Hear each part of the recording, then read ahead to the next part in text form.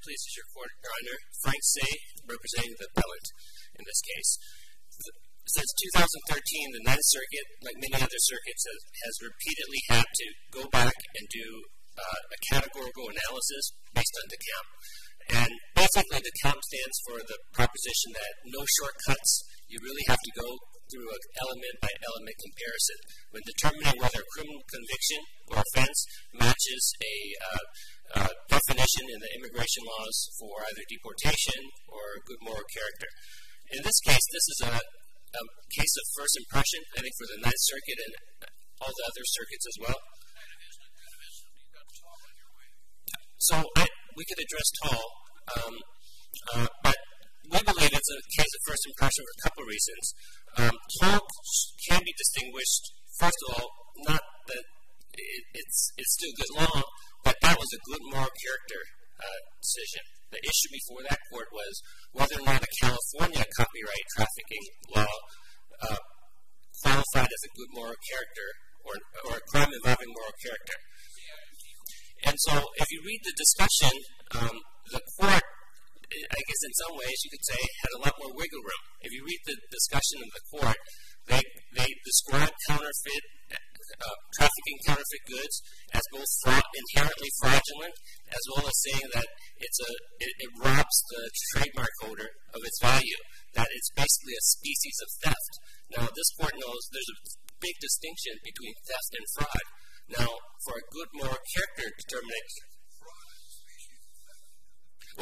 is, but as this court knows, for immigration, aggravated felonies, there's a big distinction between crimes involving fraud and deceit and crimes involving theft. There's different uh, uh, uh, determinations in that.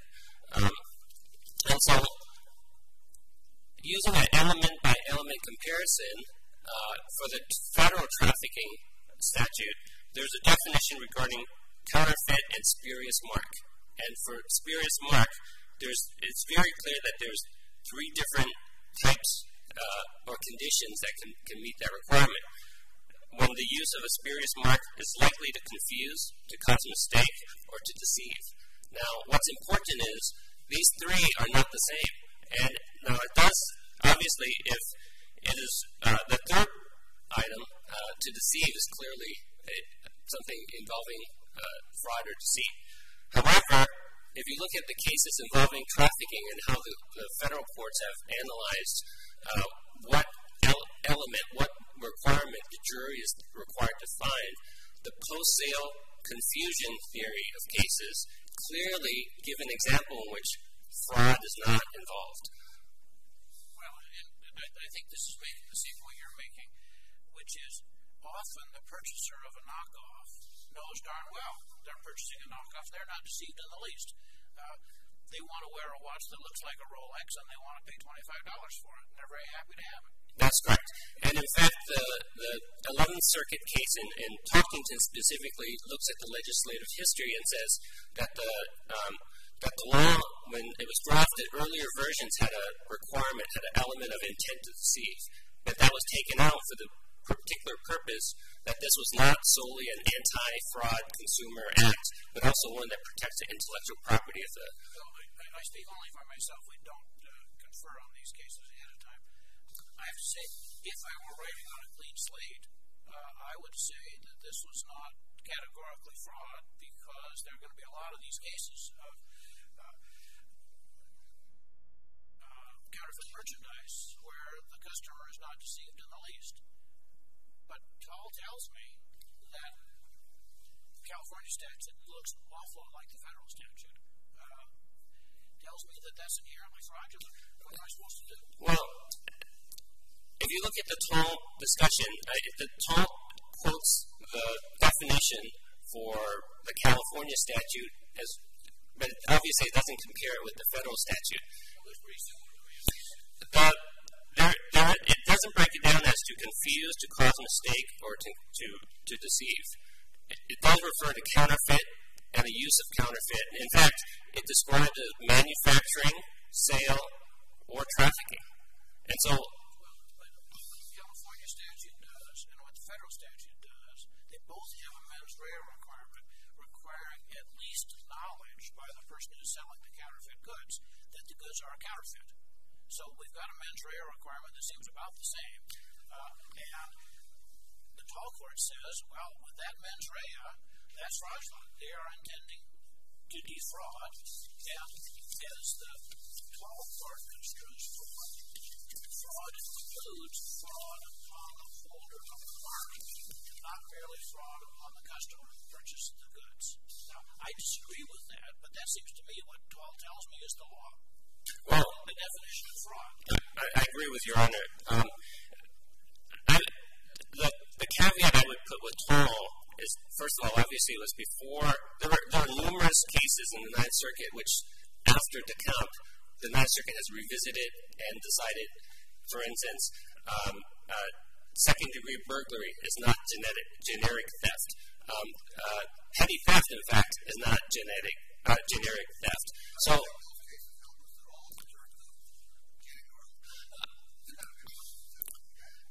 it basically, never despite Tall, even with Tall in place, Descamps still says this court has to not take the California statute, but do an element-by-element analysis with with the immigration. Compare the California to the federal? Well, this court has, Tall basically analyzes California counterfeit law to uh, whether or not it's a crime involving moral turpitude. This court has to decide whether federal uh, counterfeit trafficking compares with the federal aggravated felony definition of an offense involving fraud or deceit. So there's no shortcuts. This court can't simply rely on Tall and say the answer's there. Um, this court needs to conduct its own uh, Descamps analysis. I guess I'd like to hear your explanation as why isn't it inherently fraudulent or deceitful to put the Rolex trademark or stamp on a watch that you know that you're going to sell is not, in fact, a Rolex? Now, the Torkington um, case does, in fact, um, uh, involve the Rolex. Um, I would go further. You know, the last couple of years, every time the San Francisco Giants win a World Series or the Golden State Warriors win a championship, the streets are flooded with cheap T-shirts and hats, all basically having the logo, sometimes just simply saying World Champion Warriors. Now, even if there was a shirt that said unauthorized Golden State Warriors NBA champion, that would still be counted. So, in other words, even if you had something that spells out to the general public, Um, this is a knockoff. In fact, there's people who who openly look for knockoffs.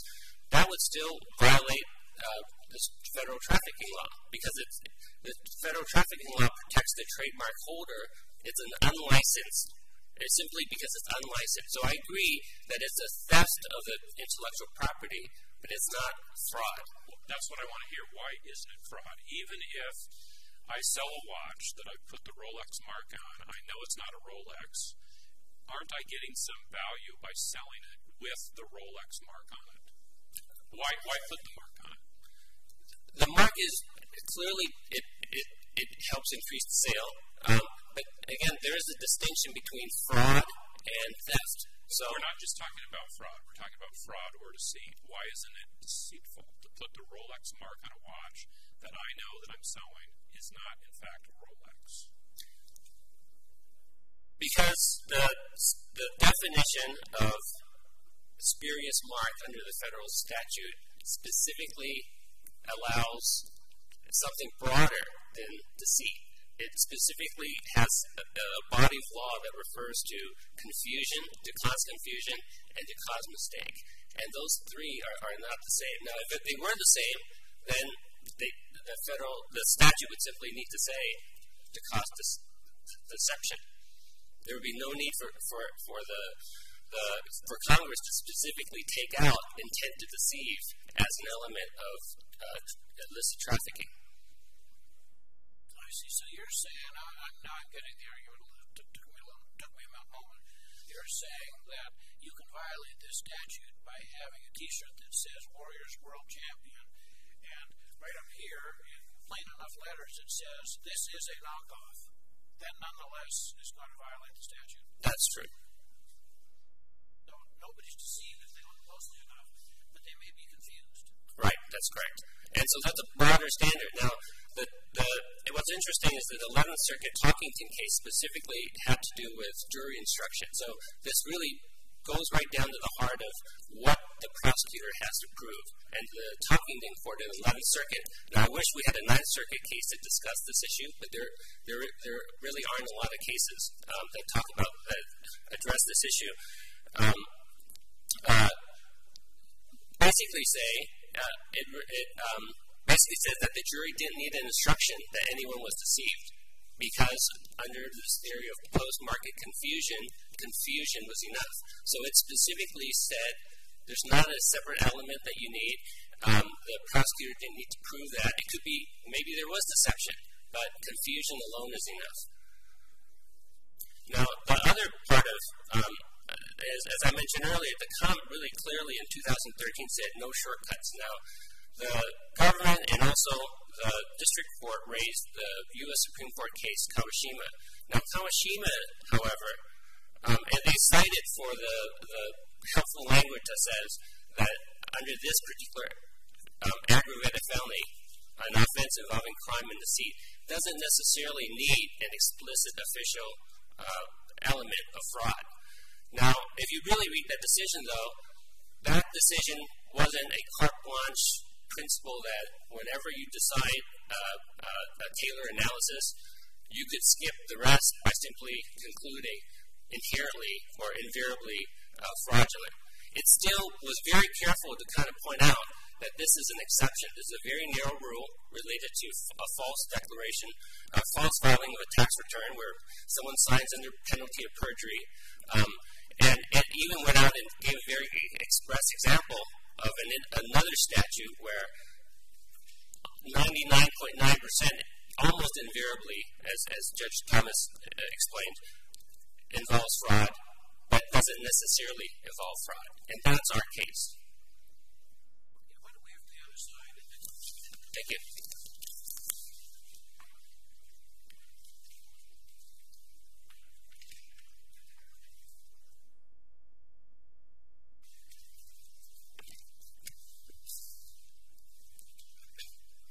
Good morning, Your Honors. Um, may it please the Court, Sarah Vaughn on behalf of the government. Your Honors, appellant is ineligible to naturalize because her conviction for trafficking in counterfeit goods is categorically an aggravated felony involving fraud or deceit as found by the district court judge. If we put Paul to one side, is it fraud when the seller says to the buyer, this is a knockoff. It looks like a Rolex, and it will um, look on your wrist like a Rolex, and your friends think you've bought a Rolex, but it's not. And I'm going to sell it to you for $25. Is that fraud? Um, yes, Your Honor. Because? Because you are, while you may not be confusing the direct buyer, you are confusing the public at large. Well, and the alleged confusing is not the definition of fraud. Deceit is that you need to deceive, not really to confuse in order to be fraud. But you may want to say, listen, you're deceiving members of the general public. Well, you confuse by deceit, right? Yes, Your Honor. Well, first off, I think we can back up and look at the INA, which requires, involves deceit or fraud, fraud or deceit. So deceit is enough. It doesn't have to be. But you're not deceiving the buyer. So my question really is, does the deceit have to be of the person purchasing, or is it a broader sense of deceit, deceiving the world? Uh, Under this statute, the way, as it's been interpreted, correct. You don't have to deceive the buyer. Deceiving the general public at issue is enough to violate trafficking in counterfeit goods. However, I don't think that's a. But is that enough to constitute an aggravated felony? Yes, Your Honor, it is. The elements of um, trafficking in counterfeit goods require that you intend to traffic and that you know that your counterfeit marks um, are likely to confuse the public. And if you look at the definition of confusion. What's the definition of the aggravated felony? Of the aggravated felony, the definition is, involves fraud or deceit, which in Kawashima, the Supreme Court defined as act or process of deceiving as by falsification, concealment, or cheating. So it is, it's broader than fraud. It, it includes um, all of those three things. Confusion in the trademark context means the incorrect perception formed by a purchaser or user about the product's origin. So it's not the general understanding of confusion um, as we may have it. There's a specific definition of what confusion is in um, a counterfeiting statute. Uh, I just wanted to quickly point out that regarding um, Well, Mr. Smith, uh, under the example Judge Fletcher uh, gave you right at the beginning, there's no confusion by the buyer, right? Correct, but there can be, the prosecutor has to prove that there would be a likelihood of confusion um, of, and this is what I was going to try to get to. The standard under um, the sample jury instructions is that uh, to to meet this standard, you have to have the spurious mark must be likely to cause confusion, to cause mistake or deceive, determined from the perspective of an average consumer in light of the way in which the mark is actually displayed in their purchasing context. So, uh, though it's the consumer, the purchaser, who has to be confused, not the person who's looking at that watch on his wrist and saying, gosh, you must be rich. I'm sorry, could you repeat It's same what you just read says confusion of the consumer. That sounds as though we're talking about confusion of the person who's making the purchase. No, I mean, the, the statute has been interpreted to require um, a broader confusion, the confusion of the general public. So we are not arguing that it has to just be the direct purchaser who is confused in the sense um, when buying the product. However, when you want, when you look at that broader confusion of the general public, you use the average consumer on the street who may look at the Rolex and the pre- the previous example where it says this is not an authorized NBA T-shirt, an average consumer wouldn't assume that that had been that is an um, an NBA T-shirt. So I don't think someone could be convicted of that. question that raises is, well, I mean, so what if, you know, a hundred average onlookers are confused, uh, they're not injured in any sense because, you know, they, they didn't pay for the watch. Um, They're just looking at, you know, something on somebody's wrist. How is that a crime if you to confuse the public? Uh, the politicians would be guilty all the time. Because, Your Honor, you are, I know we've to take Tall, Tall out of this, but Tall and subsequently Rodriguez Valencia explained that you are defrauding the owner of that mark But you're, you're back to fraud now. uh, defraud. You're, you're, you're, you are, taking the money away from the, um, from the owner of that mark who has worked to, uh, you know, increase their reputation in the public. And you buy a, you buy a Rolex, a counterfeit Rolex, because you want to show that you have, you this higher brand of watch.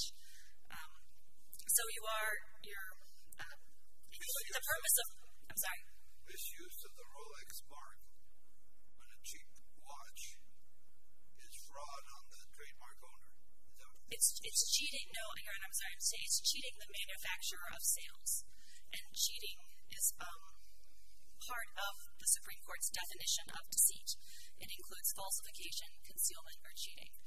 And so, because of this, all of the conduct involved in a um, conviction under the statute is subsumed into the INA's definition of an aggravated felony. Um, each element that has to be proven requires that uh, the conviction be based on conduct that is uh, possibly fraudulent but likely deceitful.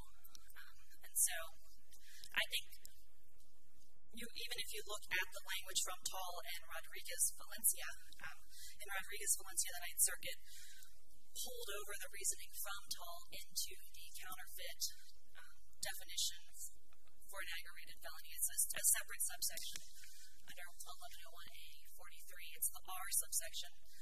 Um, and in that case, still looking at the California counterfeiting statute, uh, plaintiff petitioner in that case argued that California Penal Code 350 was not inherently fraudulent. The court said, you know, of course it is. Um, the commission of the crime necessarily defrauds the owner of the mark or the innocent purchaser of the counterfeit item or both. And so any argument that we can't use Tall in an aggravated felony context, I think, falls aside based on uh, previous Ninth Circuit case law. So you think this case is controlled by Tall as interpreted by Rodriguez-Valencia. Yes, Your Honor. By Rodriguez-Valencia. Yes, Your Honor. I also think that the definitions, the statutes are substantially similar between the federal, the federal, uh, sorry, the federal statute and the California statute are substantially similar, that there should be no issue for um, pulling that reasoning from Rodriguez-Valencia. Uh, that, I'll give you the citation for that as well. It's 652 F. 3rd 1157. Um, I'm sorry, 652? 652 F. 3rd 1157. Counsel, if I heard your adversary correctly, here's where I'm, I think putting the the Rolex uh, mark on a non-Rolex strikes me as inherently fraudulent or deceitful. However, we need to find an exact match, and that's what uh, the other side is arguing. And and he brings to our attention the definition of spurious mark, which is that it's likely to cause confusion or cause mistake. Mm-hmm. And that's where I'm hung up. If I understand the correctly, that just uh, a mistake does not rise to the level of fraud or deceit, and that's where we don't have the exact match. Um, well, Your Honor, mistake is defined as misconception, erroneous belief. And, again, if we back it up to the elements of this crime, you have to intend to sell these goods, intend to sell these goods and know that you are causing this misconception. Um, and that does still fall under the definition of deceit um, under the INA, which, as I've said, requires the falsification, concealment, or cheating. I also think if you look at Kawashima, um, where they were looking at the same issue, the crime at issue there was the willful making and subscribing of a tax return. And if you looked at the elements of that crime, um, it was a falsity that was material, knowingly and willfully made. And I think that's what we have here. You have an object that is false, a counterfeit good, that you willfully sell or receive some sort of compensation for, and you know that it is um, a counterfeit good. I mean, these elements are all required by the statute. And so I think under Kawashima, this court must find that trafficking in counterfeit goods is categorically an aggravated felony. Do you make the argument, though, or maybe I should say how do you respond to the argument that the counterfeiting statute includes a prohibition against something that is confusing? So let's take the example with which we were presented. Uh, somebody sells T-shirts outside of, I don't know, the Warriors game, um, and it says official T-shirt, Warriors world champion. And then it says in fairly big letters, all you've got to do is look, this is a knockoff. I think that will cause confusion. It might cause confusion. It might violate, you know, If you sell it in that form, it might very well violate the statute. Is it deceitful? Because it says right there, this is a knockoff. And, Your Honor, I take issue with that example because I don't think that a prosecutor could prove all of the elements with those facts. Because you don't think it's confusing? I don't think. I think it's inherently confusing to wear a shirt that says official, not official. But the counterfeiting statute forbids selling goods that are confusing. So I think this one is confusing.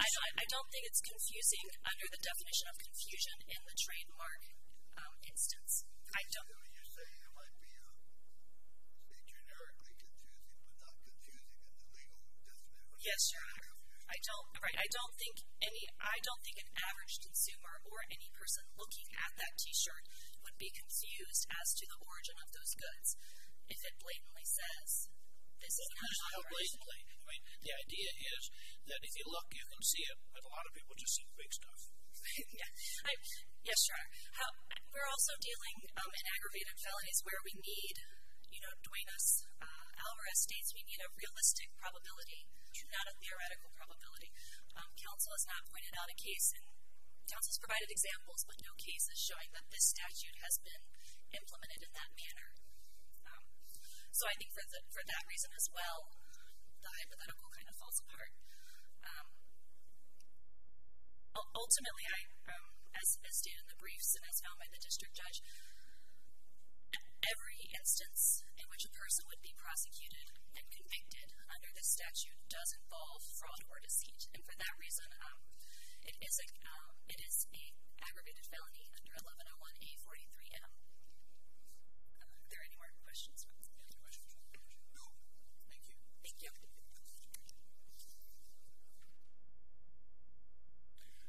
Your Honor, I'll just address uh, a couple of points that were raised uh, by the court. One was the question of uh, was there, was it, is it deceit when just generally the public see that someone's wearing a Rolex watch?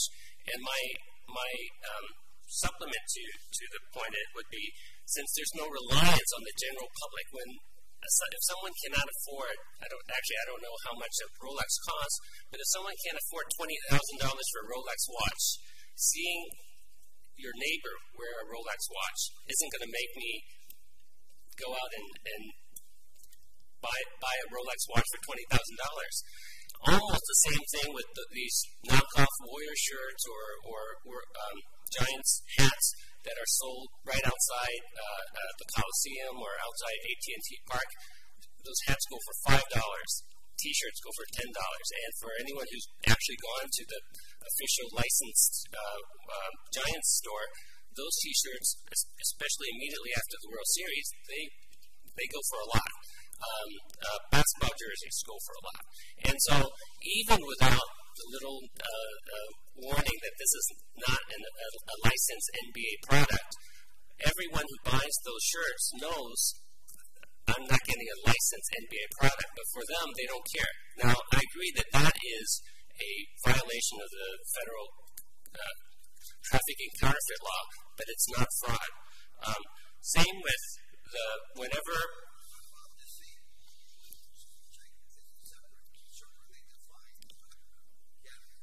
Well, so to cause, there's no deception. There's still. The question is always as to what fraud and deceit. Fraud is to whom? Deceit is to whom? The consumer, the customer, the person who buys the watch or the T-shirt is not deceived. People looking at it may be deceived. So the question is, does the term deceit go beyond the customer to the general public? I think the answer right in the definition of spurious mark, which is confusion. The Confusion really is the more appropriate word for that instance. Now, the other point I want to uh, raise is um, uh, sometimes courts and also um, uh, Ms. Vaughn referred to defrauding the owner of a mark. Now, defrauding an owner, a trademark owner of a mark, in my mind would be an instance where some company pretends to Uh, uh, sign a contract with a company uh, to license their products to make T-shirts, but instead of just T-shirts, they go on and make trophies and hats. That would be defrauding the owner of their mark. But in these cases, they're stealing the intellectual property. They're violating the statute, um, the trademark statute, copyright statute, what have you. Those are obviously serious violations, but they're not defrauding the owner. Thank you, Your Honor. Wang v. Uh, Mayorkas uh, submitted a decision. Thank both sides for the arguments.